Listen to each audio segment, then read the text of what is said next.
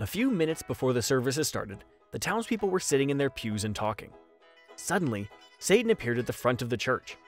Everyone started screaming and running for the front entrance, trampling each other in a frantic effort to get away from evil incarnate. Soon, everyone had exited the church except for one elderly gentleman who sat calmly in his pew without moving, seemingly oblivious to the fact that God's ultimate enemy was in his presence.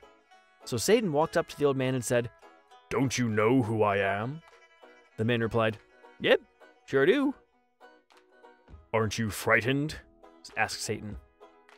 Nope, sure ain't, said the man. Don't you realize I can kill you with a word? asked Satan.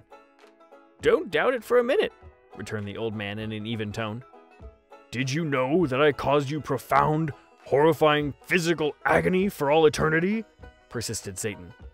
Yep, was the calm reply. And you're still not afraid? Asked Satan. Nope. More than a little perturbed, Satan asked, Well, why aren't you afraid of me? The man calmly replied, Been married to your sister for over 48 years.